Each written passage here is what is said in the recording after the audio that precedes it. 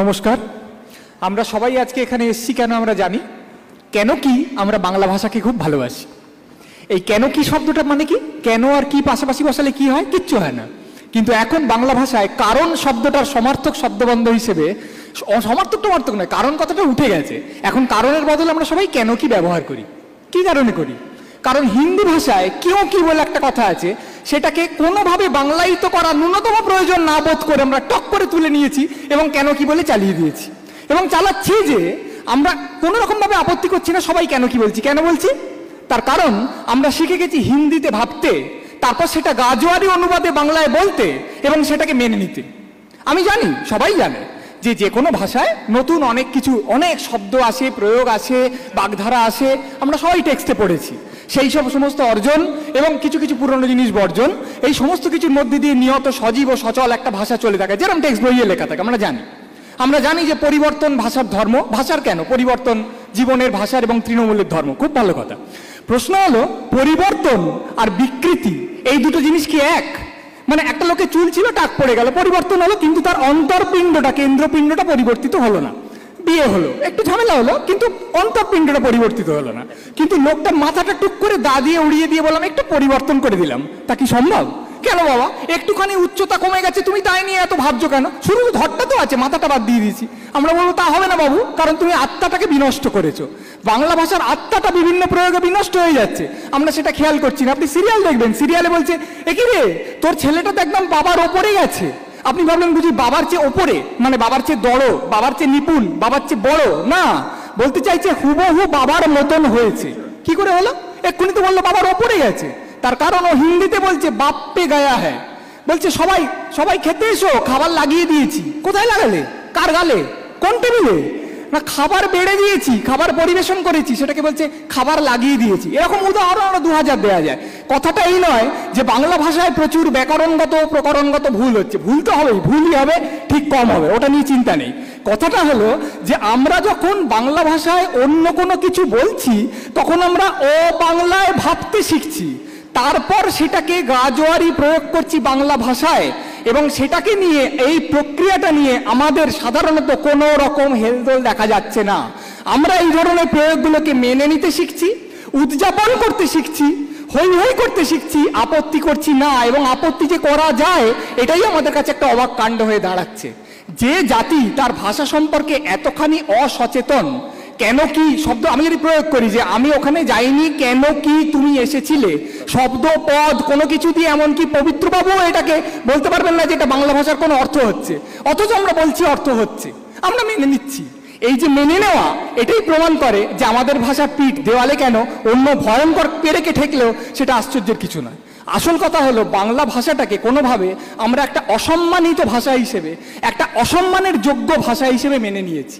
বহুদিন থেকেই, এখন নয়, হয়তো সমাজ জীবনে বৃত্তের সঙ্গে অবাংলার সম্পর্ক বেশি বলে, আর দারিদ্রের সঙ্গে বাংলার সম্পর্ক বেশি বলে আমরা মনে করি যে ইংরেজি, এখন এমনকি তার মধ্যে হিন্দিও পড়ে গেছে। এগুলোর সঙ্গে, ইংরেজি, হিন্দি এই ভাষাগুলোর সঙ্গে একটা সপ্রতিভ, একটা ঝকঝকে একটা সমৃদ্ধ, একটা সম্ভাবনাময় জীবনযাপন এবং মনোভঙ্গির একটা সরাসরি সমীকরণ আছে। আর বাংলার সঙ্গে একটা অপ্রতিভ, এঁদো, ছেদো, একটা বদ্ধ জীবনযাপনের অত্যন্ত ভালো একটা সম্পর্ক আছে। আজকে পশ্চিমবাংলার রাজধানী কলকাতা। ঝকঝক একটা দোকানে যান, যেখানে বিরাট কাঁচের দরজা ঠেলে ঢুকতে হয়, দুর্দান্ত এসি আছে, দারুণ পোশাক পরা লোকরা আপনার দিকে এগিয়ে আসছে। কি ভাষায় কথা হবে? ইংরেজি। আইনক্সে যান, যেখানে আপনি একটা দুর্দান্ত সিনেমা দেখতে দেখতে যান, যেখানে সাধারণ ভুট্টার দাম একশো পঁচাত্তর টাকা, আপনি মহানন্দে খান। কি ভাষায় সিনেমার কাউন্টারে গিয়ে টিকিট বিনিময়ের সময় কথা হবে? ইংরেজি। একটা দুর্দান্ত ধাঁ চকচকে রেস্তোরাঁয় যান, ঢোকার সঙ্গে সঙ্গে আপনাকে কি বলবে? দাদা, আসুন। বলবে, স্যার, আপনিও বলবেন টেবিল ফর টু। সে বলবে, দিস ওয়ে, প্লিজ। তারপর আপনি ওখানে গিয়ে বসবেন। বসুন। বসে আপনার সাহস আছে বলার? আপনাদের যে বিখ্যাত মুরগির সুরুয়াটা আছে, ওটাকে একটা বাটি আপনি দুভাগে ভাগ করে দেবেন তো? বলতে পারবেন, আপনি বলবেন chicken sweet corn soup into two এবং যিনি আপনাকে পরিবেশন করছেন, তার সঙ্গে যদি ধরা যায় আপনি একটা প্রকল্প নিয়ে গেছেন, গোয়ারের মতো, আমরা বাঙালি সংগঠন করেন আপনি এবং নাগাড়ে লাগাতার বাংলায় কথা বলে যান। তিনি আপনার সঙ্গে নাগাড়ে লাগাতার ইংরেজিতে জবাব দিয়ে যাবেন। যতবার আপনি নুন চাইবেন, ততবার সে সল্ট এনে দেবে। কেন? তার কারণ কর্তৃপক্ষ থেকে নির্দেশ দেওয়া আছে এই বাংলার রাজধানীতে যে এইরকম একটা বড় বৈভবময়, আলো ঝলমলানি পূর্ণ জায়গায় যেখানে উচ্চাকাঙ্ক্ষার উদযাপন হয়, সেখানে তুমি তোমার ক্রেতার সঙ্গে, ভোক্তার সঙ্গে ইংরেজি ছাড়া কোনো ভাষায় কথা বলতে পারো না। কেন? কারণ ইংরেজি অভিজাত ভাষা এবং বাংলা হচ্ছে অনভিজাত ভাষা। আজকে রেডিও এফএম চ্যানেলে কর্তৃপক্ষ থেকে সঞ্চালকদের নির্দেশ দেওয়া থাকে বাংলায়, যে তুমি নাগাড়ে বাংলায় কথা বললে যাবে না। তুমি বাংলা, হিন্দি ও ইংরেজির একটা মিশ্রিত চমৎকার বকচ্ছপ জগা খিচুড়ি ভাষায় কথা বলবে। এমনকি তাতে যদি বাংলা না থাকে, সেটা অনেক ভালো। যদি বাংলা গান না বাজানো হয়, সেটা অনেক বেশি ভালো। কেন এই নির্দেশ দেওয়া হচ্ছে? কর্তৃপক্ষ থেকে বড় বড় জায়গা থেকে এই নির্দেশটা কেন দেওয়া হচ্ছে? বুঝতে গেলে আগে আমরা একটা কথা বলি। টিভিতে বিজ্ঞাপন দেখানো হচ্ছে, হিন্দিতে বিজ্ঞাপন। ওই একই বিজ্ঞাপনের বাংলা বয়ান আপনারা দেখেছেন? সেখানে কীরকম ভাবে বাংলাটা বলা হয়? বেঁকিয়ে, চুরিয়ে, যেন যিনি বলছেন তিনি হিন্দি টানে বলছেন। ভালো করে বাংলা বলতে পারেন না, অতি চেষ্টায়, অস্বচ্ছন্দ বোধ করে তিনি বাংলা বলছেন। যে লোকটা কোটি কোটি টাকা দিয়ে বিজ্ঞাপন বানিয়েছে, এটা কি বিশ্বাস্য যে সে একটা লোককে ভাড়া করতে পারেনি যে ঝরঝরে বাংলায় এই কথাটা বলতে পারে? পেরেছে তা সত্ত্বেও এই লোকটাকে দিয়ে বাংলাটা বলিয়েছে, এই রকম ভাবে বাংলাটা বলিয়েছে। কেন বলিয়েছে? সুকান্ত চৌধুরী কিছুদিন আগে আনন্দবাজারে একটা প্রবন্ধ লিখেছিলেন, যেখানে বলেছিলেন, আমরা এটাকে মেনে নিচ্ছি। আমার প্রশ্ন হচ্ছে হচ্ছে কেন? তার কারণ, এই যে ভাঙা বাংলা, বেঁকা বাংলা, ক্ষুদ্র বাংলা না পারা বাংলা, এটার সঙ্গে ওই পণ্যটা যে অত্যন্ত উঁচু দরের পণ্য, এই দোতনাটা সরাসরি নিহিত আছে। অর্থাৎ যে বাংলা বলতে পারে না, যে বাজে বাংলা বলে, সে আপনাকে যে পণ্য দেবে, সেই পণ্য হবে সত্যিকারের উঁচু দরের পণ্য। আপনার উচ্চাকাঙ্ক্ষার সঙ্গে সামঞ্জস্য। কেন? কারণ বাংলা হচ্ছে নিচু দরের, যাকে সাদা বাংলায় বলে ডাউন মার্কেট আর ইংরেজি হচ্ছে উঁচু দরের, যাকে সাদা বাংলায় বলে আপ মার্কেট বাংলা বাজে বলতে পারা আগেও ছিল। বৌদি বলতেন, জানিস তো, আমার বাচ্চাটা স্কুলে যে কি শিখছে, সেদিন জিজ্ঞেস করল ফিফটি সিক্স মানে কি মা, বত্রিশ? এটা কেন বলতো? তার কারণ হচ্ছে তার স্কুল, তার ছেলে স্কুল এমন উঁচু দরের যে তারা বাংলাটা ভালো শেখায় না। ওটাই এখন সমগ্র সমাজ জীবনে এসছে। কেন? এই যারা বিরাট ব্যবসা করছেন, বিরাট দোকান করেছেন, রেস্তোরাঁ করেছেন, এফএম চ্যানেল করেছেন, বিজ্ঞাপন দিচ্ছেন, সবাই বাংলা বিরোধী চক্রান্তে নেমেছেন? না। তারা বাজার বিশ্লেষণ করছেন। এই বাজার জিনিসটা কি? বাজার কি একটা অখণ্ড মণ্ডলাকার মুন্ডহীন বস্তু? না। বাজারের মধ্যে আমরাও আছি, এই বাঙালিরা। যারা মনে করছি যে বাংলার সঙ্গে একটা এঁদো নিচু জাতের ব্যাপার আছে, যে ঝরঝরে চোস্ত ইংরেজি বলে, তার পরিমণ্ডল, তার মোবাইল, তার যাওয়া আসা, তার রেস্তোরাঁ, তার ভাবনা, তার দর্শন উঁচু জাতের, যে শুধুমাত্র বাংলা বলে, তা অন্য কিছু মুরদ নেই বলেই সেই বাংলা বলে, এবং তার ভাবনা, চিন্তা, দৃষ্টিভঙ্গি নিচু জাতের। বক যুধিষ্ঠিরকে বলেছিলেন পাপ কি? যুধিষ্ঠির বলেছিলেন আত্মবিস্মরণ পাপ। মানে আত্মবিস্মরণ সবচেয়ে বড় পাপ। যে জাতি প্রতিনিয়ত দৈনন্দিন জীবনযাপনে, জনজীবনে নিজের বাংলা ভাষাকে এইভাবে অপমান করে চলেছে, অপমান মেনে নিচ্ছে, অপমানে পুলকিত হচ্ছে এবং অপমান করে ভাবছে, এই নিচু জাতির বাংলা ভাষা, এই নিচু ভাষা এটাকে অতিক্রম করে আমরা চলে যাব চমৎকার ইংরেজি বা বাংরেজির দিকে। সেই জাতি যেভাবে আত্মবিস্মৃত হয়েছে, তার পাপে যে বাংলা ভাষা পিঠ দেওয়ালে ঠেকবে, তার বলার কি? নমস্কার। আমি বাংলাদেশ থেকে এসেছি একটু আগে যিনি কথা বললেন চন্দ্রিল দা, এবং তার মতো আরও তিনজনকে দেখতে পাচ্ছি, মোট চারজন, দুঃখবিলাসী দাদা এবং দিদি, তাদের হৃদয়ের ক্ষতে প্রলেপ দিতে। এক হচ্ছে আমাদের টপিক হচ্ছে বাংলা ভাষার পিঠ থেকে গেছে দেয়ালে। এখানে কিন্তু বলা হয়নি পশ্চিম বাংলার বাংলা ভাষা পিঠ থেকে গেছে দেয়ালে। যখনই আপনি বাংলা বলবেন, যখনই আপনি বাংলা ভাষাভাষী বলবেন, তখন আপনি আমাকে ফেলবেন কেমন করে? রাজনৈতিক দেয়ালটা পেরুলেই ওপরে যে আমরা ষোলো কোটি বসে আছি আমাদের পিঠকে দেয়ালে ঠেকে গেছে? আমরা সবাই মিলেই তো বাংলা ভাষাভাষী নাকি? একুশে ফেব্রুয়ারি আন্তর্জাতিক মাতৃভাষা দিবস। শ্রীজাত শুভ সন্ধ্যা। শোনা যাচ্ছে? আমার এই জন্যে এইসব বিতর্ক সভায় আসতে ইচ্ছে করে না। যে বিতর্ক সভাটা ইংরেজিতে হওয়া উচিত ছিল। আমরা বাংলা ভাষায় কেন কথা বলছি এখনও এই গোটা বিতর্কটা ইংরেজিতে হতো যদি, তাহলে আজকে যারা আমার প্রতিপক্ষ যারা কথা বলছেন, তাদের কথা আরও ভালো করে বুঝতে পারতাম। কারণ ওরা অনেকটাই বাংলায় বলেছেন বলে আমি পুরো বুঝতে পারিনি। শুনতে পাচ্ছিলাম না, তারপর বাংলা বোঝার অভ্যেসও চলে যাচ্ছে আস্তে আস্তে। তো যাই হোক, এখানে অতীত নিয়ে কথা হচ্ছে, ইতিহাস নিয়ে কথা হচ্ছে, দেশ নিয়ে কথা হচ্ছে। আমি বরং শুধু আজকের মঞ্চটা নিয়ে কথা বলব। কারণ আমি বলব তাদের কথা যারা আমাদের প্রতিপক্ষ, যারা আজকে আছেন, চন্দ্রিল ভট্টাচার্য। চন্দ্রিল ভট্টাচার্যর লেখা আমরা পড়ি প্রাথমিকভাবে গদ্য পড়ি। ভীষণ ভালো লাগে এবং এখানে যারা আছেন নিশ্চয়ই সকলে স্বীকার করবেন যে চন্দ্রিল ভট্টাচার্য নিজস্ব একজন নিজস্ব গদ্য রীতি তৈরি করেছেন খুব অল্প সময়ের মধ্যে। তার গদ্যের জন্য আমরা পথ চেয়ে থাকি, উন্মুখ হয়ে থাকি। তার কবিতা পড়ি কিন্তু উনি বাংলা ভাষায় লেখেন।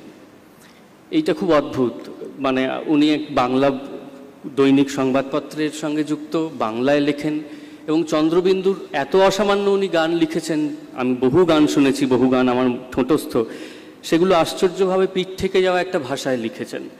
কোনো আপমার্কেট ভাষায় লিখতে চাননি, কোনো বিকৃত ভাষায় লিখতে চাননি। একটি ভাষা যেটি প্রায় লুপ্ত হয়ে আসছে, সেই ভাষায় এখনও চন্দ্রিল ভট্টাচার্যর মতো একজন কথা বলছেন, লিখছেন, অবদান রাখছেন, যাকে বাংলায় কন্ট্রিবিউট করা বলে। তার পাশে সাথী আছেন যার প্রবন্ধের আমরা ভক্ত, যার মতামতের আমরা ভক্ত। তিনি বাংলায় নিয়মিত লেখেন। সেই বাংলা, আমরা যে বাংলা লিখি, আমার ধারণা সেই বাংলাও যারা মাঠে কাজ করেন, তারা বুঝতে পারেন না।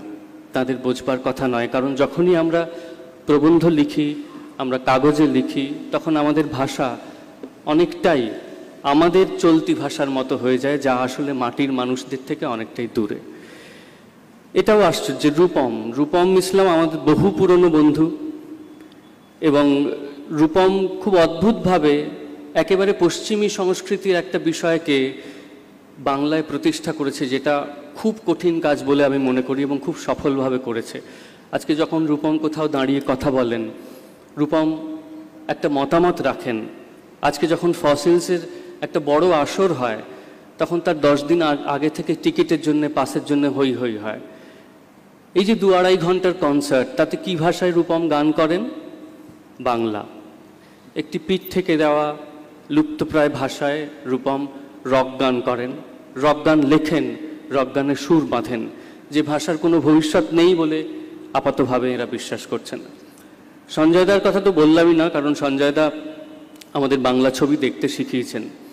কখনো বলেননি যে বাংলা ভাষার ছবি আর দেখো না, কারণ এই ভাষা মরে আসছে। এবং সঞ্জয় দারকে আমরা ক্লাসে পেয়েছি, ক্লাসে আলোচনা শুনেছি। কিন্তু সঞ্জয় সঙ্গে সঞ্জয় দার সঙ্গে খুব নিভৃতে গোপন ঘরে যখন একাকী দেখা করবার সুযোগ হয়েছে, আমি খুব অবাক হয়েছি দেখে যে সঞ্জয় দা বাংলাতেই কথা বলছেন। এবং সঞ্জয় দার মতো বাংলা লিখতে পারা মানুষ আমাদের ভাষায় খুব কম আছেন। তো আমার মনে হয় যে আমরা যুদ্ধটা এখানেই জিতে গেছি যে আজকে যারা বিপক্ষে কথা বলছেন, এমন মানে পক্ষে কথা বলছেন, এমনকি যারা মেনে নিচ্ছেন যে বাংলা ভাষার পিঠ দেয়ালে ঠেকে গেছেন, তারা প্রত্যেক দিন বাংলা ভাষার হয়ে কাজ করছেন, বাংলা ভাষার হয়ে লড়ছেন, বাংলা ভাষার জন্য যুদ্ধ করছেন। আমরা যারা লুপ্তপ্রায় প্রজাতি এখনও মানি যে পিঠ দেয়ালে ঠেকেনি, আমরা কিন্তু ঋদ্ধ হচ্ছি এই চারজনের কাজ দেখেও। এখানেই একটা ভাষার জিত যারা মেনে নিয়েছেন যে বাংলা ভাষা হেরে গেছে, তারাই বাংলা ভাষাকে জেতানোর জন্য চেষ্টা করে যাচ্ছেন। আর ঘণ্টা বাজেনি দেখে আমি ভরসায় আরেকটা কথা বলব, যে আমাদের দেশে নির্বাচন কীভাবে হয় আমরা সবাই জানি। এ নিয়ে নিশ্চয়ই আমাদের কারোর মধ্যে কোনো সন্দেহ, রাগঢাক, লজ্জা ইত্যাদি নেই। কিন্তু এই ঘরের মধ্যে নির্বাচন নিশ্চয়ই সুষ্ঠু এবং স্বাভাবিক। প্রথমে যখন কুণালদা হাত তুলতে বললেন, তখন হাতের পরিমাণ দেখে আমরা একটু মুষড়ে পড়লাম ঠিকই কারণ ষাট আর চল্লিশের ভাগটা কারা এগিয়ে আছেন, কারা পিছিয়ে আছেন আমি জানি। কিন্তু সেইখানেই বলি যে ভিড়ের মধ্যে একটি হাতও উঠেছিল। যিনি সামনের সারিতে বসে আছেন, তার ডান হাতটি উঠেছিল। যে ডান হাত গত বহু দশক ধরে বাংলা ভাষাকে জোর জুগিয়ে যাচ্ছে, সাহস জুগিয়ে যাচ্ছে, পুষ্টি জুগিয়ে যাচ্ছে, আমাদের প্রত্যেক দিন এগিয়ে দিতে সাহস দিচ্ছে। তো আমার মনে হয় যে নারায়ণী সেনা আর কৃষ্ণের ভাগাভাগিটা সেইখানেই হয়ে গেছে। আজকে সভা শুরু হওয়ার আগেই বাংলা ভাষা জিতে গেছে। কাগজ না, এটা একটা বিজ্ঞাপনের টুকরো ভেবেছিলাম। আসলে আজকে আমার দিনটা একটু ক্লান্তিকর গেছে। প্রথম তো আমার বৌদির শ্রাদ্ধ ছিল। দ্বিতীয় কথা, এইরকম বক্তৃতা। তো তার ফলে ঠিক কী বলব বুঝে উঠতে পারছি না। আমার বৌদির কথা দিয়েই শুরু করি। ভদ্রমহিলা বয়স হয়েছিল, তার মাথায় ধাক্কা লেগেছিল, অর্থাৎ সেরিব্রাল অ্যাটাক তো তখনও তিনি কিছু কিছু ভাবে স্মৃতি ছিল তার, মনে করতে পারছিলেন, কিছু কিছু আমাকেও চিনতে পেরেছিলেন। আমি তাকে বলেছিলাম, একদম ভয় পেও না, ভরসা রেখো, এখন ডাক্তারির অনেক উন্নতি হয়েছে। তা আমার কথায় তিনি আস্থা রেখেছিলেন কিনা জানি না, মোট কথা তার দেহাবসান হলো। বেশ বড় ডাক্তাররাই দেখেছেন, কুণালের মতন ডাক্তাররাই রাখতে পারেননি, আজকে তার শ্রাদ্ধ ছিল। এখন বাংলা ভাষার সম্পর্কে আমার মনে হয় তাই, যে এটা আশাবাদ ভালো, খুবই ভালো যে বাংলা ভাষা টিকে থাকবে এবং তার ক্রমোন্নতি হবে। ইংল্যান্ডে এবং আমেরিকায় কিছু কিছু জায়গায় সেসব ভাষায় লোকে কথা বলবে, ফলে বাংলা ভাষা টিকে থাকবে। চীনা রাষ্ট্রদূত এসে বাংলায় কথা বলবে। যে মাননীয় বক্তা এটা বললেন, তিনি জানেন না ফরেন সার্ভিসে চাকরি করার অন্যতম শর্তই হলো যে দেশে নিয়োগ হয়, সেই দেশে ভাষা জানতে হয়। এটা কোনো বাংলা ভাষা প্রীতি অথবা হিন্দি ভাষা অপ্রীতি নয়। তো এখন বাংলা ভাষা নিয়ে প্রচুর কথা হচ্ছে, কিন্তু কি মানে বলা যাবে? আমি আজকে কি বলব? একেবারে বাড়ি থেকে আসবার পথে তাহুড়োতে একটা লিখলাম বিজ্ঞাপন, স্বাধীনতা দিবসে বেরিয়েছে। তাতে কি লেখা আছে? কোন কোম্পানির বিজ্ঞাপন বলছি না, খুবই বড় কোম্পানির বিজ্ঞাপন, একবার প্রথম পাতায়। প্রত্যেক বাংলা কাগজে বেরিয়েছে। সেটা কি ছিল? যা একজন খবরের কাগজ বিলি করা ছেলেকে ভারতের রাষ্ট্রপতি করেছিল। খুব অদ্ভুত ব্যাপার, খবরের কাগজ সে বিলি করত। সুপার মেরিন স্পিডফায়ারে এক যুদ্ধকারী বিমানের ওপর এক প্রবন্ধ থেকে গল্পটি শুরু। এটা পড়ার পরেই ছোট্ট ছেলেটির কৌতূহল জাগে এবং সে আরও পড়তে শুরু করে যতক্ষণ তার এটা অভ্যাস হয়ে গিয়েছিল। এরপরে আর আমার দরকার নেই। এটা বোঝাই যাচ্ছে যে এটা ওই আমাদের যে বক্তারা পিঠ থেকে যায়নি বলছেন, তাদের মতন করে বিশ্বাস করতে হচ্ছে, একজন তো বাংলা তবু লিখেছে। এটা ঠিকই, একজন তো তবু বাংলা লিখেছে, এরপরে বিশ্বাস করতে হবে, তবু তো আনন্দবায়ার পত্রিকা এই সময় পত্রিকা, বর্তমান পত্রিকা, এসব প্রথম পত- পাতায় ছাপছে। তাহলে বাংলা ভাষার অমর্যাদা কোথায় হচ্ছে? এখন আসলে বাংলা ভাষা নিয়ে যখন কথা বলি, অনেক আবেগ করা যায়। যেমন সবচেয়ে বড় কথা রবীন্দ্রনাথের কথা বলা যায়। কেউ এখানে চাইলে শঙ্খ ঘোষের কথা বলতে পারেন। বলতে কিছু আপত্তি নেই, কিন্তু বাংলা ভাষার কোনো ভবিষ্যৎ নেই। ভবিষ্যৎ নেই যে, তার প্রমাণ হিসেবে আমি বলি যে, আমার ছেলেকে আমি ভুল করে হয়তো।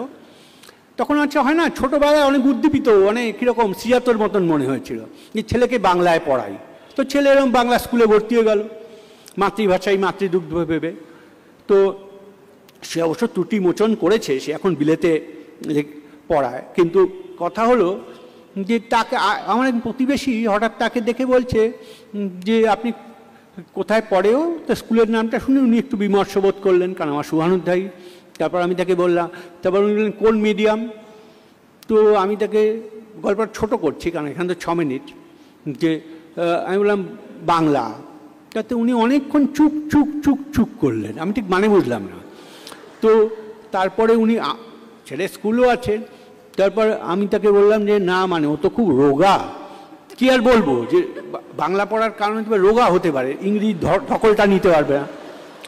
তো তাতে তিনি বলছেন, না না এমনি ঠিকই আছে, কিন্তু খিস্তি শিখে যাবে। আমি বাংলা ভাষার বিরুদ্ধে অনেক বক্তব্য হতে পারে, কিন্তু খিস্তি শিখে যাবে। বাংলা ভাষা খিস্তি খুব উন্নত না। ইংরেজি অপভাষার অবদান অনেক বড়। তো খিস্তি যুক্তিটা বুঝতে পারছিলাম না যে বলল না, আসলে আজকাল তো বাংলা স্কুলে ঝি চা করে মানে তার ভাষা, এটা আমার তার কোটেশন ঝি চা করে ছেলেরা ছাড়া কারও কেউ পড়ে না। ওখানে দিলেন। তো যাই হোক, আমি তখন একটা যুক্তি বুঝতে পারলাম। কিন্তু এবার ঝি চাকরদের কাছে গেলাম। যেমন আমার বাড়িতে যে কাজ করে, লক্ষ্মী নামে একটি মেয়ে। যাই ভালো তো সে দেখি তার দুই ছেলেকে ইংরেজি টিউটারের কাছে দিয়েছে। আমি বললাম যে, লক্ষ্মী, তুই করেছিস কি? ইংরেজি টিউটার কোথা থেকে পেলি? যে না আমাদের যাই হোক, ওকে ওয়ের তো করতে হবে এবং লক্ষ্মী আমাকে এনে দেখাল যে ছেলে ইংরেজি টিউটারের কাছে পড়ে আধার কার্ড ঠিকভাবে পড়তে পারে। এবং লক্ষ্মীর যা আয় হতেই পারে না, একজন কাজের লোক কটা বাড়িতে কাজ করতে পারে, কি আয় করতে পারে? তাতে লক্ষ্মীর একটা বিরাট অংশ ব্যয় হচ্ছে ছেলেকে ইংরেজি পড়ানোর জন্য। আর এখানে আমরা লেক ক্লাবে অভিজাত পরিবেশে, যারা কেউ তাদের ছেলে মেয়েকে বাংলা স্কুলে পড়াই না, তারা আলোচনা করতে পারি বাংলা ভাষার ভবিষ্যৎ নিয়ে। এখন এই নিয়ে আলোচনা করতে পারেন, কিন্তু যে দেশে সস্তার মদকে বাংলা মদ বলা হয়, যে দেশে কেউ কিছু না বুঝলে বলে বাংলায় বোঝা ডাক্তারিও মানে গাইনোকোলজি বুঝতে পারছে না মানে বাংলায় বোঝা মানে বাংলায় লিখে না, বাংলায় বোঝা, সহজ করে বোঝা। তো সে দেশে বাংলা ভাষার পিঠ থেকে গেছে দেওয়ালে কি, কবে বেডসোর হয়ে গেছে? এখন তাকে টিকিয়ে রাখা সমস্যা। তো টিকিয়ে রাখতে চাইছেন, রাখুন। আমার থেকে বয়স হয়তো কম এখনও আশাবাদ, আশায় মরে চাষা। ভারতবর্ষের অধিকাংশই তো চাষা। তারা যদি আশাবাদী হতে চায়, ক্ষতি কি? ধন্যবাদ। এখন বাংলা ভাষার মর্যাদা এবং বাংলা ভাষার যে পিঠ থাকেনি তার কয়েকটা তথ্য আমি আপনাদের দিচ্ছি। এক, যেটা আমাদের এক বন্ধু বলার চেষ্টা করেছেন, মাত্র কয়েকদিন আগে আপনারা সবাই শুনেছেন, আন্তর্জাতিকভাবে ঘোষণা করা হয়েছে বাংলা ভাষা পৃথিবীতে, ইউনেস্কো থেকে ঘোষণা করা হয়েছে, বাংলা ভাষা পৃথিবীতে quote unquote sweetest language in the world এর জন্য আপনারা একটা হাততালি দিন, ওদের বিরোধিতা করুন। ওদের বিরোধিতা করুন। ওদের মুখে অন্ত আন্তর্জাতিকভাবে নুরো জেলে দিন। এই যে সঞ্জয় বলল বাংলা ভাষার কোনো ভবিষ্যৎ নেই আর সেখানে সারা পৃথিবীর লোক মেনে নিল। সঞ্জয় একা গিয়ে যদি লড়াই করতে আমি খুব খুশি হতাম। আমরা তো জানি বাংলা ভাষার ভবিষ্যৎ নেই। আপনারা বলছেন the sweetest language in the world এ সমস্ত কেন বলছেন? এক। এটা এটা এটা দেব। বাংলাদেশ যেহেতু আমাদের পাশে কোনো দিন আমি আপনাকে বলে রাখি, আপনাদেরকে বলে রাখি, এই বাংলা ভাষা কোনোদিন ভবিষ্যৎ অন্ধকার হবে না, এই বাংলাদেশ আছে বলে। কোনো দিন হবে না। রাজনৈতিকভাবে হবে না, ভৌগোলিকভাবে হবে না কোনো দিন হতে পারে না। কবিতার কথা দিয়ে আমি শেষ করি, যে কবিতা সবচেয়ে কম মানুষ পড়ে কোনো প্রয়োজন নেই। আর ভারতবর্ষের যে কোনো ভাষার যে কোনো কবির চাইতে বসে আছেন শঙ্খ ঘোষ তার কবিতার বইয়ের বিক্রি বেশি। নমস্কার। যে যুক্তিগুলো ছুঁড়ে দিয়েছেন আমার মনে হয় সঞ্জয় আপনাকে এটাকে খণ্ডন করতে হবে। তো দু মিনিট সঞ্জয়ের রিবাটল বলে ও আমাকে এখন কোপাবে আমিও কিন্তু না সবাই কোপাবেন সবাই সঞ্জয় দু মিনিট প্লিজ আমি কোপাবো না। সুবোধের সুবোধের বক্তৃতা যদি রেকর্ডেড থাকে, দেখা যাবে ইংরেজি শব্দ কত অপ্রয়োজনীয়ভাবে বেশি। সেগুলো সব বাংলায় বলা যায়। সুবোধ নিজেকে প্রমাণ করার জন্য ইংরেজি বলেছে। কিন্তু সেটা সুবোধের সমস্যা, অধিকাংশ অবোধ বাঙালির সমস্যা। এখন, আমার বক্তব্য হলো যে বাংলা ভাষার পিঠ যে দেওয়ালে থেকে গেছে বলছি, দু মিনিট সময়, একশো কুড়ি সেকেন্ড। তার কারণ হচ্ছে মেঘনাথ সাহা সত্যেন বসুদের বুঝতাম তারা পদার্থবিদ্যা মতন দুর্বহ বিষয় বা গণিত যখন ঢাকা বিশ্ববিদ্যালয়ে পড়াতে গেছেন এবং এলাহাবাদ বিশ্ববিদ্যালয়ে গেছেন, তখন তারা চেষ্টা করেছেন মাতৃভাষার মাধ্যমে কি করে বিজ্ঞান শেখানো যায়। আজকে যে বাংলায় বিজ্ঞান শেখা যাচ্ছে, তার কারণ সত্যেন বসু হিন্দিতে বিজ্ঞান শেখা যাচ্ছে, তার কারণ মেঘনাথ সাহা। কিন্তু আজকে যারা বাংলা নিয়ে এত দরদ উতলে পড়েছে, তারা কোন ইঞ্জিনিয়ারিং ফ্যাকাল্টির কোন পরিভাষাটা তৈরি করছেন? কিছু আবৃত্তিযোগ্য কবিতা ছাড়া তারা কিচ্ছু প্রসব করেননি। এবং দুঃখের কথা, যে আবৃত্তিযোগ্য কবিতা দিয়ে কোনো কম্পিউটার বা অন্য কিছু চলছে না। যদি সিরিয়াস হতেন, তাহলে কাজটা করতেন। কিন্তু আমাদের আন্তরিকতা, আমাদের বিশ্বাস এত কম। মানুষের অনুভূতি দেশ থেকে আল- না এলে তো কোনো সংস্কার করা সম্ভব না। এ বিষয়ে জীবনানন্দ দাস অনেক কথা বলেছেন সুরতটা জানেন। কাজে আমার মনে হয় দু মিনিটে আর প্রতিবাদ করা সম্ভব না। একজন আত্মপ্রতারক যদি আত্মপ্রতারণা করতে স্বীকৃত হন এবং যদি আয়নায় নিজের মুখ দেখেও সেটা বলেন যে এটা আমার মুখ না তাহলে তার মনস্তাত্ত্বিক চিকিৎসা করা যেতে পারে কিন্তু আমার মনে হয় সাইকিয়াট্রিস্ট হওয়ার দায় আমার না। সঞ্জয় থ্যাংক ইউ কেন কবিতা পোস্ট করছ ফেসবুকে আমার কবিতা কেউ ছাপতে চান না বলে আমি ফেসবুকে শরণাপন্ন হয়েছি। তবে এটা ঠিক যে বইয়ে লিখলে এফআইআর ইত্যাদি হতো না। ফেসবুকে লিখি বলেই হয়তো হয়। কিন্তু এটাও ঠিক যে যে কোনো নতুন মাধ্যমকে যে ভাষা সবচাইতে আগে নিজের করে নিতে পারে, সে ভাষার জোর বাংলার আছে। সেই মাধ্যমের মধ্যে ফেসবুকও পড়ে। এবং রূপম আগেরবার স্বীকার করেছে যে রূপম কিন্তু নিজের নতুন গান ফেসবুকে রিলিজ করছে। একজন বাঙালি গায়ক, একজন বাঙালি কবিতা লেখক, যিনি কবিতা লেখার চেষ্টা করেন আমার মতো, আমরা কিন্তু ফেসবুককে বাংলা ভাষায় ব্যবহার করার চেষ্টা করছি। আমি ছোট দুটো কথা বলব। একটা একটা লেখা পড়ব। কবিতা নিয়েই যখন কথা হচ্ছে, কবিতা তো সবচাইতে ওই সঞ্জয়দা যেরকম বলেছিলেন, রোগা। কবিতার বইগুলোও রোগা রোগা, তারা সবচাইতে দুর্বল, সবচাইতে কম বিক্রির। একটা কবিতা পড়ি। কবিতাটা বহু বছর আগে লেখা, কিন্তু আজ মনে পড়ল। কবিতাটার নাম রাক্ষস খক্ষস। মাছওয়ালা কবিতা পড়ে না।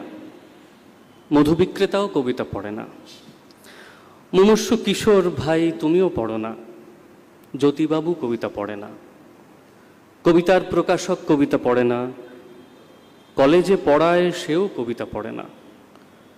তবে কি রাক্ষস পড়ে সমস্ত কবিতা? তবে কি খক্ষস কেনে কবিতার বই? হ্যাঁ এখনও পর্যন্ত রাক্ষস আর খক্ষসরা বাংলা কবিতার বই কিনছেন।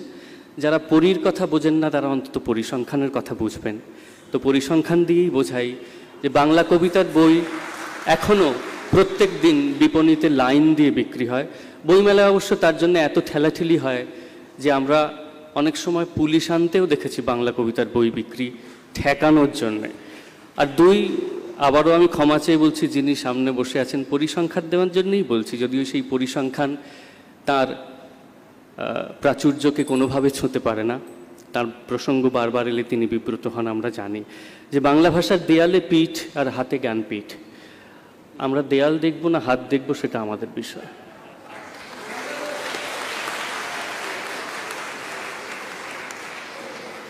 তো চন্দ্রিল তোমার অভিজ্ঞতা কি বলে? শ্রীজাত খুব বড় কবি বিতর্কে উনি বিপ্লব এনে দিয়েছেন। তার কারণ উনি মনে করেন বিরোধী পক্ষের বক্তাদের প্রাণপণ তোল্লাই দেওয়া এবং সামনে একজন বসে আছেন যিনি খুব বিরাট মানুষ, তাকে বারবার প্রণাম জানানো হচ্ছে যুক্তি। খুব চমৎকার। আমরা সবাই খুব চমৎকার লিখি। মুশকিল হচ্ছে আমরা লিখি বলেই, বাংলা ভাষায় লিখি বলেই আমরা জানি বাংলা ভাষার পিঠ দেওয়ালে ঠেকে গেছে। শ্রীজাত এমন একটা যুক্তি বিন্যাস করছেন, যেন যে বাংলা ভাষায় লেখে, সে বাংলা ভাষায় লিখবেই না, যদি ধরে নেয় যে তার দেওয়ালে পিঠ ঠেকে গেছে। কেন? আমি বাংলা ভাষা ছাড়া কিছুতে লিখতে পারি না। মুরদ নেই, তাই বাংলায় লিখি। ইংরেজিতে পারলে ইংরেজিতে লিখতাম, এসপারেন্টে পারলে এসপারেন্টে লিখলাম। শ্রীজাত কি মনে করেন যে বাংলা ভাষায় লিখে একজনের নোবেল পাওয়ার সম্ভাবনা বাড়বে স্প্যানিশের চেয়ে কখনোই না। কিন্তু আমরা বাংলাকে ভালোবাসি। মুশকিল হচ্ছে আমার বিরোধী পক্ষের বক্তারা ঔচিত্য আর যা হয় এ দুটোর মধ্যে গুলিয়ে ফেলছে। আমি যদি বলি, আমার দেশে ধর্ষণ হওয়া উচিত নয়। কথাটা ঠিক। তার মানে এই নয় যে আমার দেশে ধর্ষণ হয় না। আমি যদি বলি, বাংলা ভাষার পিঠ থেকে গেছে দেওয়ালে, তার মানে এই নয় যে আমরা মনে করি পিঠ থেকে যাওয়া উচিত। আমরা মনে করি উচিত নয়, কিন্তু সত্যটা হচ্ছে তাই। যে সংসারে থাকে আর রোজ রোজ মার খায়, সে খুব ভালো করে জানে সংসারটা অশান্তির। সে যদি বলে, বাপরে বাপ, এই সংসার আমার দেওয়ালে পিঠ থেকে গেছে, সে তার অভিজ্ঞতা থেকেই বলছে। তাকে যদি বলা হয়, বাহ, তুমি তো ওই সংসারে আছো, তাহলে আর বড় বড় কথা বলছো কেন? এ কথাটার কোনো মানে হয় না। আমরা কেউ বলিনি যে বাংলা ভাষা খারাপ। আমরা বলেছি, বাংলা ভাষা প্রচণ্ড ভালো, কিন্তু তার আর ভবিষ্যৎ নেই। যেটা সঞ্জয়দা বলছিলেন, আমরা প্রিয়জনকে ভালোবাসি কিন্তু সে যখন ভেন্টিলেশনে আছে, কিচ্ছু হবে না। কালকে ভোরবেলা টাট্টুর মতো দৌড়বে। বললে হাততালি তোলা যায়। যেরকম সুবোধবাবু রাজনৈতিক বক্তৃতার মতো হাততালি দিন হাততালি দিন বলে হাততালি তুলেছেন। খুব মজার, দারুণ, আদর্শ, আবেগ, কি ভালো হবে? কিচ্ছু মনে করো না, ডাক্তার ভগবানকে ডাকো, সব ঠিক হয়ে যাবে। এগুলো দারুণ কথা। কিন্তু বাংলায় চর্চা করি বলেই আমরা জানি, ভালো লিখি বলেই আমরা জানি যে ভালোই লেখো আর যাই করো, কিছুতেই বাংলা ভাষার আর কিছু হবে না। হ্যাঁ বাংলাদেশের প্রসঙ্গ বারবার আসছে। বাংলাদেশের বাস্তবতা, বাংলাদেশের জনজীবন সম্পর্কে আমার কোনো অভিজ্ঞতা নেই। আমি তাই বলতে পারব না। একটা কথা আমি বলতে পারি, কোটি কোটি মানুষ বাংলা বলেন, তাতে ঘণ্টার মাথা। একটা ভাষা পিঠ থেকে গেছে কিনা, নির্ভর করে পিলপিল করে লোকটা বলছে কিনা তা দিয়ে নয়। সেই ভাষাটার মর্যাদা কতটা তাই দিয়ে। পৃথিবীতে গরিবের সংখ্যা সবচেয়ে বেশি, কিন্তু গরিবের চেয়ে বড় লোকের সম্মান চিরকাল বেশি। পৃথিবীতে বোকার সংখ্যা সবচেয়ে বেশি, বোকার চেয়ে বুদ্ধিমানের সম্মান সবচেয়ে বেশি। তাই মনে রাখতে হবে, কোটি কোটি মানুষ বাংলা বলে, কিচ্ছু এসে যায় না। আমার দেখতে হবে, যে কোটি কোটি মানুষ বাংলা বলে, তার উচ্চ কোটি কি বলে? কোটি দিয়ে হয় না, উচ্চ কোটি দিয়ে হয়। বাংলার মধ্যে যারা সমাজের সবচেয়ে উঁচুর দিকে, টাকার দিক থেকে, প্রতিপত্তির দিক থেকে, প্রভাবের দিক থেকে, তারা কি নিজেদের মধ্যে বাংলা ভাষায় কথা বলে? নাকি তারা ইংরেজি ভাষা বলে নিজেদের মহত্ব, নিজেদের কতটা তারা বড় হয়েছে সেটা প্রমাণ করার চেষ্টা করে। মনে রাখবেন, ভাষা জন, জনজীবনের ভাষা নয়। কোটি কোটি জেলে মালো কি বলে, এরম বলে গলা কাঁপালে অদ্বৈত মল্ল- মল্লবর্মন বড় হবে। তাই দিয়ে বাংলা ভাষা হবে না। বাংলা ভাষা কে কে নির্ণয় করবে, বাংলা ভাষা কি হবে না হবে? নির্ণয় করবে কলকাতায় বসে যে বাংলা ভাষা বলছে, ঢাকায় যে বাংলা ভাষা বলছে। এই ক্লাবে যে বিতর্কে বাংলা ভাষা বলছে, টিভির অ্যাঙ্কার যে ভাষায় কথা বলছে টিভিতে গিয়ে তর্ক করার সময় যারা বিরাট বিরাট মানুষ, বুদ্ধিজীবী, বিদ্বজ্জন, তারা যেভাবে কথা বলছে, তাদের কথায় ভুল বাংলা, ভুল উচ্চারণ, ভুল প্রয়োগ, ভুরি ভুরি। এবং তাই দেখে লোকেরা শিখবে। কোটি কোটি মানুষ একদিন আসবে, একদিন ভোর আসবে। ক্লাস ফাইভে ওরকম নাটক আমরা করেছি পাড়ায়। শেষকালে ফ্রি শট হয়ে গিয়ে একদিন বাংলা ভাষা বড় হবে। ওই দিয়ে বড় হবে না দাদারা। যে মরে যাচ্ছে সে মরে যাবে। তার চিতাটা ভালো করে সাজান। স্মরণ সভায় মোবাইল দেখে চমৎকার কবিতা পড়ুন। ওই অবধি আপনাদের দৌড়। নমস্কার।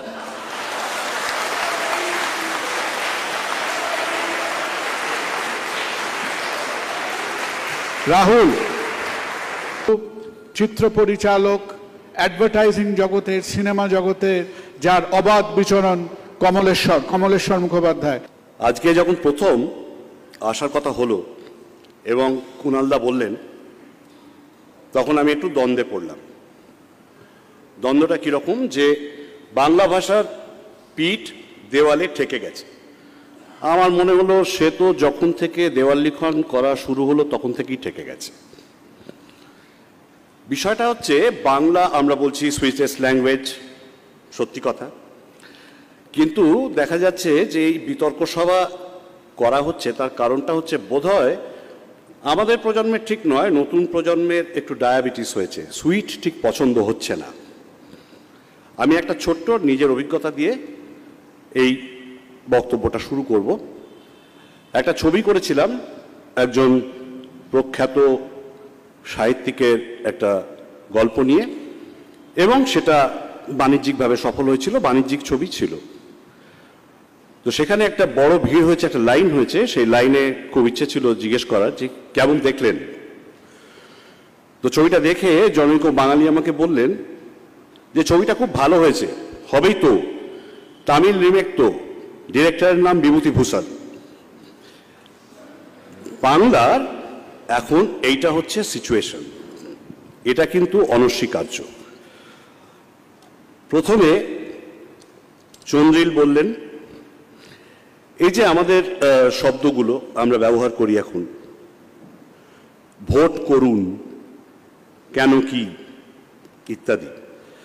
এবং তার পেছনে যুক্তিটাও দিলেন, একটা অর্থনৈতিক এবং আভিজাত্য এই দুটো অবস্থানগত যে পার্থক্য, সেই পার্থক্য দিয়ে বলা যেতে পারে যে কেন ক্রমশ আমরা বাংলা ভাষাটাকে আস্তে আস্তে হিন্দির সঙ্গে মিশিয়ে দিচ্ছি। সেটা ঠিক। আত্মবিস্মরণের কথা বলেছেন। খুব গুরুত্বপূর্ণ কথা বলে আমার বিশ্বাস। আমরা কিন্তু আমাদের জাতিগোষ্ঠীর যা যা বৃত্তি ছিল, যে সৌকর্য ছিল আমাদের ভাষার, সেগুলো ক্রমশ হারিয়ে ফেলছি এবং আসলে গুরুত্ব দিতে ভুলে যাচ্ছি। এখানে প্রাজ্ঞ মানুষেরা রয়েছেন। আমার অতটা জানা নেই, কিন্তু কারণটা কি এটা নয় কিছুটা? যে বাংলা বা বাঙালি চিরকালই জাতিসত্তার ক্ষেত্রে একটা কোথাও সমস্যা রয়েছে, একটা সংকর জাতি। সকালবেলা আমরা চাউমিন খাই, দুপুরবেলা খাই মশলা ধোসা, বিকেলবেলা খাই রুটি তড়কা, রাত্রিবেলা খাই হচ্ছে রোগান জোশ। বাঙালি বোধহয় একমাত্র জাতি বোধহয় আন্তর্জাতিক বলেই এই ভারতবর্ষে খুব তাড়াতাড়ি বিভিন্ন কালচারকে একত্রিত করতে পারে, এক জায়গায় আনতে পারে। সেই কারণেই বোধহয় আমাদের নিজেদের এই আত্মবিস্মরণ খুব তাড়াতাড়ি ঘটে। কোথাও একটা হীনমন্যতার জায়গাও আছে, যে পোস্ট কলোনিয়াল একটা মেন্টালিটির কথা আমরা বলছিলাম। আরিফা বলেছেন, বাংলাদেশের কথা। অবশ্যই বাংলাদেশ, বাংলা ভাষার ভবিষ্যৎ এ নিয়ে কোনো সন্দেহ নেই। অর্থনৈতিক একটা যোগ সেখানেও রয়েছে। ওই যে বাজারের কথা বললেন যে সবচেয়ে বড় বাজার কিন্তু বাংলার বাজার বাংলাদেশই দিতে পারে, এটা ঠিক। সাথী বললেন, অভিজাত বাংলা যা কিনা সত্যি অনেক ক্ষেত্রে ইংরেজির থেকে অনেক বেশি দুর্বোধ্য হয়ে দাঁড়ায়, বিশেষ করে সাধারণ মানুষের, চলতি ভাষা ভাষী মানুষের পক্ষে। শ্রীজাত বললেন, এখনও কিন্তু সবাই, সব বক্তারাই বাংলায় কাজ করছেন। হ্যাঁ ঠিকই। বাংলায় কাজ করাটা বন্ধ করার কোনো প্রশ্ন নেই। অবশ্যই কেউ বাংলা ছাড়া অন্য কোনো মোড অফ এক্সপ্রেশন চাইছেন না। কিন্তু এটা বলছেন যে বাংলা বোধহয় কোথাও একটা পশ্চাৎসারণের সমস্যায় ভুগছে।